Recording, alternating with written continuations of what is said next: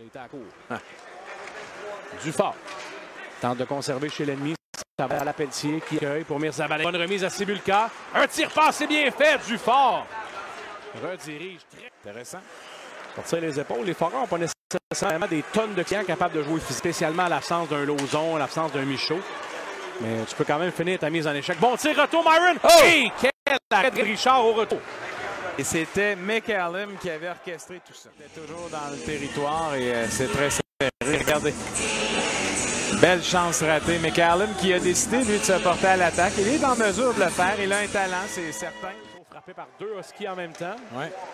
Il n'a pas été en mesure, par contre, euh, du côté de Myron, de capter la passe. Oh, un cadeau là-dessus pour Sibulka. Ça va Oh! le tir passe et quel arrêt de Richard sur Ouais. Myron. Après le cadeau des Huskies. Le camp défensif. Regardez, là, il le sait. Belle passe. J'espère que non. là.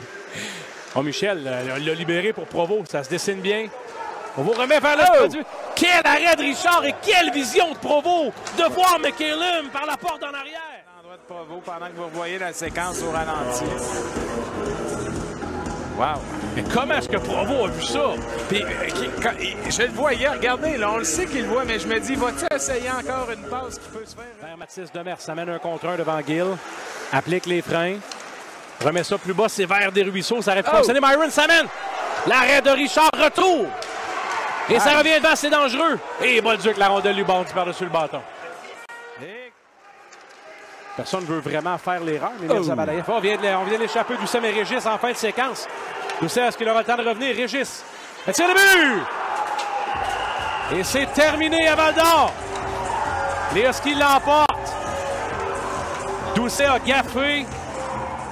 Et Régis, même s'il va chercher le gros but. Et au moment où tu disais personne ne veut faire l'erreur, malheureusement, le sort est tombé sur Alexandre Doucet. Et vous voyez le défenseur, lui, qui s'est porté à l'attaque, du moins en échappé. Un tir, hein? Pas trop fort, juste placé. C'est dur pour le